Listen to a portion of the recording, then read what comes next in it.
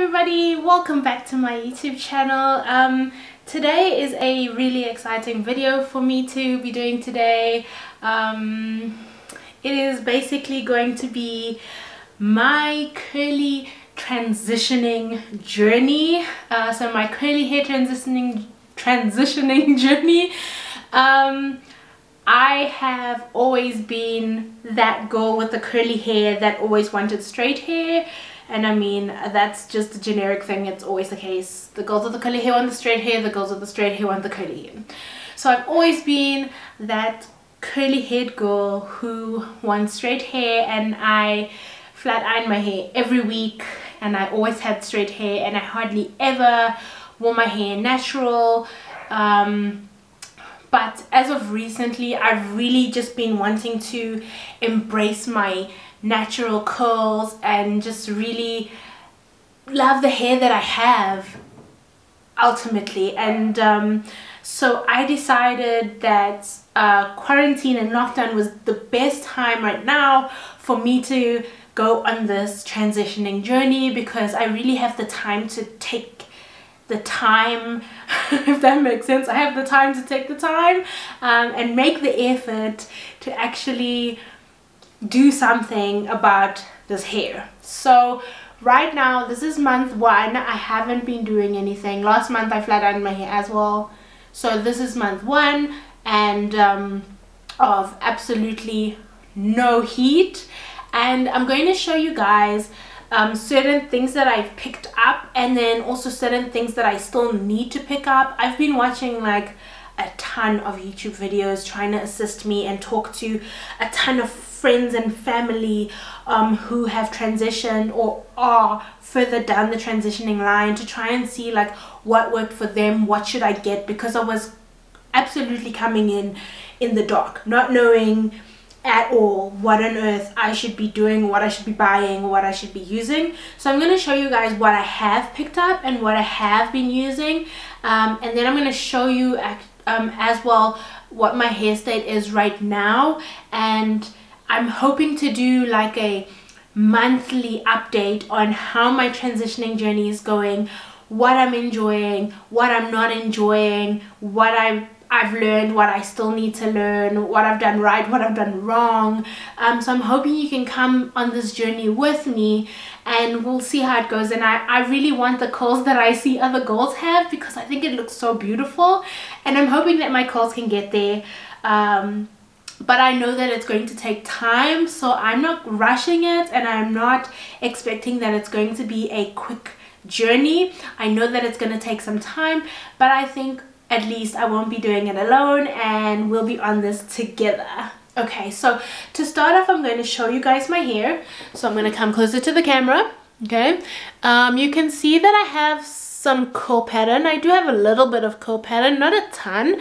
Um, and if you see like at the bottoms of of my hair um the curl pattern really starts to disappear. Uh, my ends are very frayed. Um you can tell a lot of flat ironing has been happening because the curls there's like hardly any curl pattern at all. It's very just like wavy. Um my hair is quite long okay? So let me come down a bit.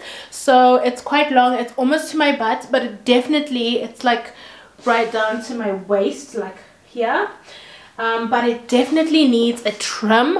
Um, I would love to go to the hair salons. Actually the hair salons are just opening so they just announced that hair salons are allowed to um, come back. Um, so I would love to but I'm just a little bit scared with coronavirus and all of that but it definitely needs a trim. So I know from what I've watched on YouTube videos that the big cut is essential in your transitioning journey. And I don't want to do a big cut because I actually um about a year ago actually yes about exactly a year ago did a big cut and I cut my hair shoulder length. And it's taken a year to grow completely back um, and I don't want to do another big cut so I'm willing to do about a, a trim at least a trim off the dead ends. So maybe about that much of hair. I think what I have in terms of curl to there is fine and I think I can work with that. So I'm not keen on doing a huge cut. Um, so I'm just gonna do a medium cut medium to small cut. Um, and then we'll we'll work with that. But I don't know when I'm to be able to get to the salon. Um, we'll have to see about that because they're just opening this week. So um, we'll see how that works. So that's my hair. Um, it's yeah.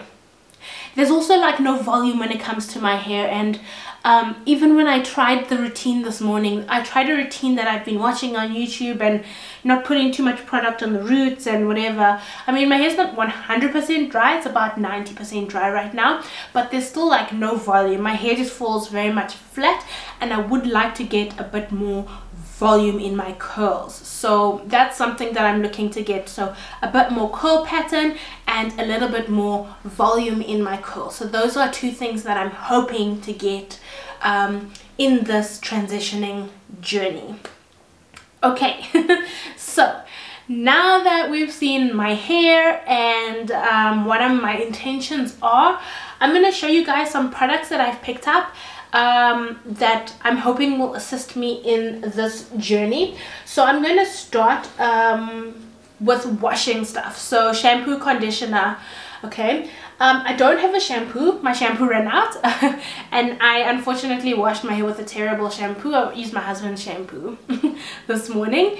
But um, the brand that I am using currently is um, Maui Moisture okay so this is the conditioner I've run out of the shampoo and um, Maui Moisture is a really great brand to use because they are sulfate free, silicone free, paraben free and from all of the YouTube videos that I have watched I know that that is essential in a curly girl's hair journey. You don't want a shampoo with sulfates and you don't want a conditioner with silicones. So um, the Maui Moisture range is a range that doesn't have any of those bad things and I've really enjoyed um, using their products thus far.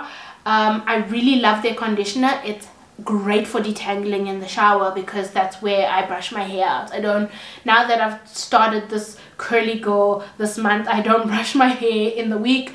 I brush it out in the shower and this is great for detangling. Um, I also have tried uh, the SheaMoisture. So this is the SheaMoisture Deep um, Treatment Mask, the um, raw shea butter. I didn't enjoy this, but I'm still using it because it was expensive. Um, so I'm still using it. So what I've been doing is I will shampoo and then I will put this in and leave it in for 5 to 10 minutes. And then when I'm done, I will then condition with the Maui Moisture. So this is the one that I'm using. Uh, why won't it focus? Let's focus, focus, focus. There we go. Okay, so this one is the coconut milk conditioner. Um, so I'll do the mask for 5 to 10 minutes and then I will condition afterwards because this one I didn't enjoy because it wasn't a great detangler and it didn't give me the slip that I needed so I just really didn't enjoy it. I also, when I looked at reviews, mine just seemed very different. Mine is very thick, very thick and like literally thick. And when I've seen girls use it on YouTube, theirs is not thick. Like it can loop out and drop and this is not that consistency. So I don't know. I don't know. But I've been using it, but I haven't enjoyed it. Um, lastly uh, when it comes to shampoo and conditioner I've bought this um, massage brush. Okay so this is the Denman um, shampoo massage brush. So once, I, once I've shampooed I just have this in the shower and I like rub the shampoo into my scalp.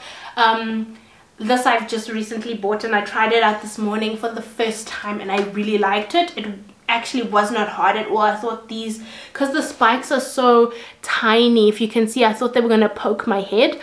And they actually didn't. They were actually pretty soft. They were not as hard as I thought they were going to be. And this actually really worked really well because I find I have a lot of product buildup, especially on the crown of my head. And I think this will help even with dry scalp.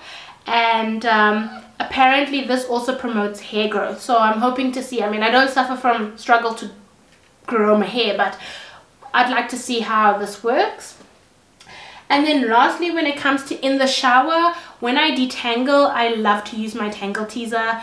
My Tangle Teezer is the best brush I've ever used in the shower. I have a few detangling brushes that you can use wet, but my Tangle Teezer, we can focus, there we go.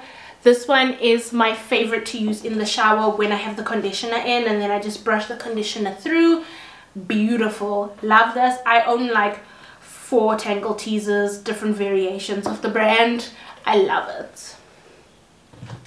Okay, so that's in shower. So out of the shower, um, I then follow, I follow a weird method. I've seen a lot of different methods but the method that I followed is I have an oil so I use um, argan oil so this is a 100% pure natural argan oil. The only ingredient in this is argan oil. Um, I my hair is really dry so I like to use the argan oil in the hair. And then I use either also from the brand Maui Moisture is either the styling milk or the styling I think it's the smoothie. Almost said souffle. So it's the styling milk and then the styling smoothie. And then I will choose one of the two ones a bit thinner than the other and I'll run it I won't go directly to the roots I'll probably start about here and I run it through the hair okay and then what I have purchased da, da, da, is the curly girl brush which is the Denman brush okay I bought the Denman brush. I used it for the first time today and I actually really liked it. It's the first time my hair had somewhat of a curl pattern appearing, at least in this half of the hair. And I will, once I've put the product in, I will then brush the hair with the Denman brush upwards. So I won't brush down, I brush going up. And this brush just helps to give curl pattern in the hair. And I actually really enjoyed this, using this brush.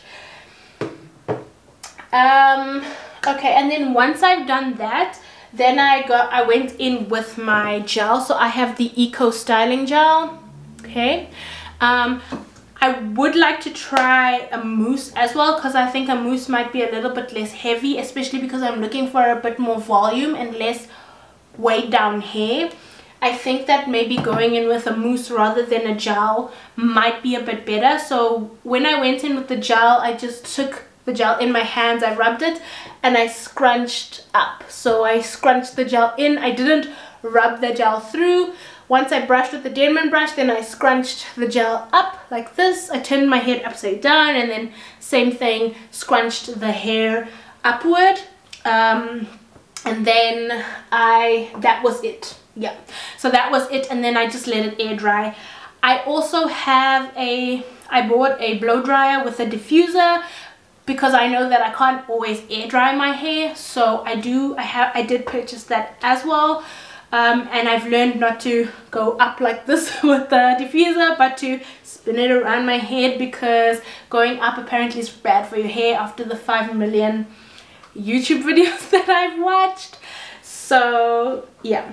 Okay um other products that I have um that I've gone through the videos and have seemed important to have are number one Invisibobbles so when I want to tie my hair up because obviously when I want to sleep or when I don't want to wear my hair down I then use the Invisibobble because it doesn't damage the hair and doesn't pull the hair out. I also purchased a satin bonnet because um, it helps when you sleep and it helps to not let your hair frizz and it doesn't damage the hair like the cotton pillowcase would okay and then last but not least I have my spritzer bottle which just has water in it for when I need to replenish the water in my hair. I just spritz spritz spritz spritz spritz. So that's kind of what I purchased and I know there's still a lot of things that I need. The curly girl method is not an easy one and it's one that requires a, a couple of products. So I'm going to take you through the products that I still need to purchase and the first one is I definitely need a shampoo and I'm going to get one from the same brand Maui Moisture. So I'm going to get a shampoo.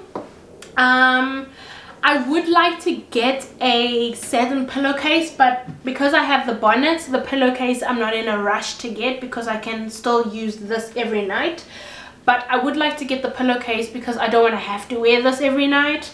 Uh, my husband calls this the duck and I don't want to have to wear it every night. It's really not the most attractive thing to have on my head every night. So the satin pillowcase is definitely on my wish list.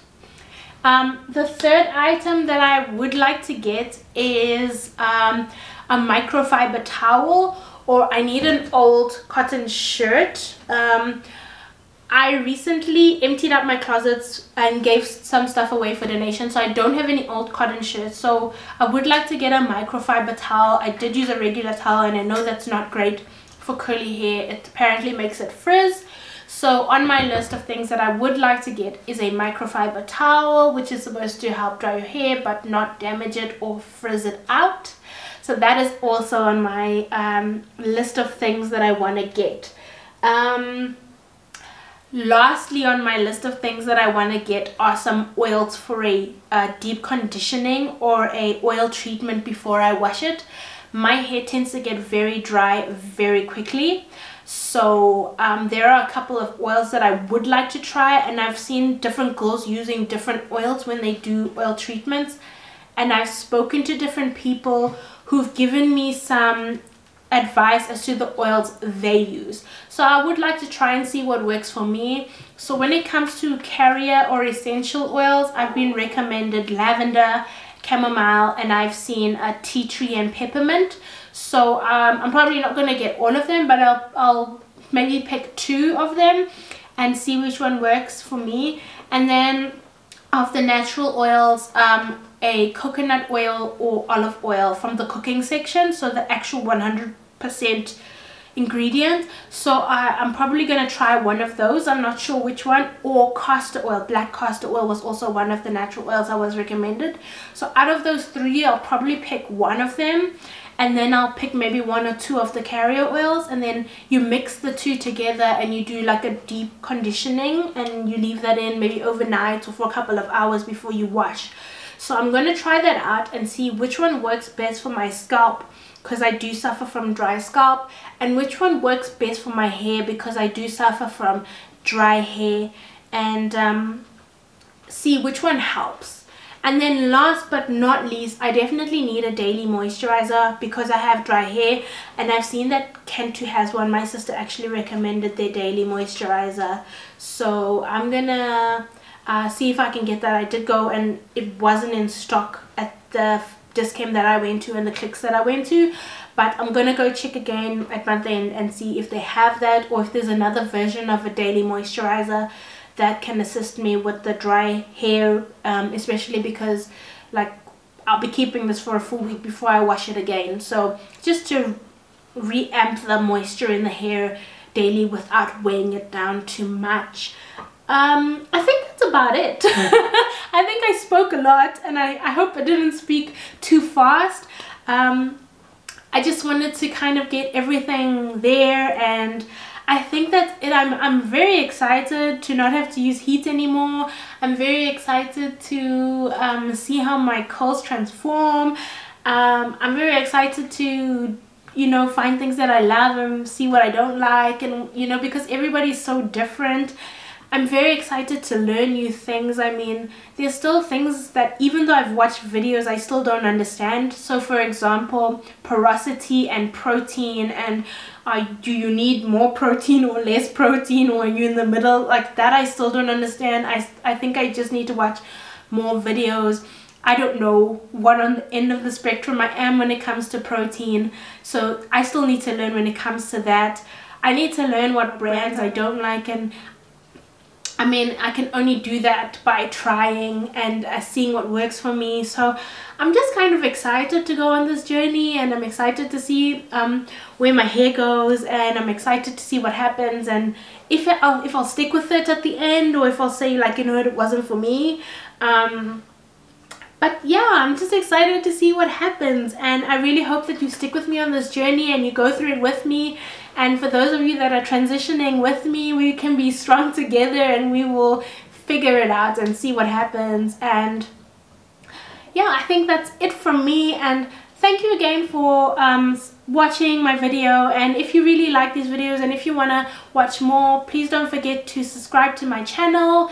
Um, don't forget to click the notification bell button if so you can get notified when I post new videos and hopefully I'll be doing the hair transformation journey videos once a month or even twice a month depending on uh, what I have to film and um, I, I really I have fingers crossed. Um, so thank you guys for watching and love you all. Bye.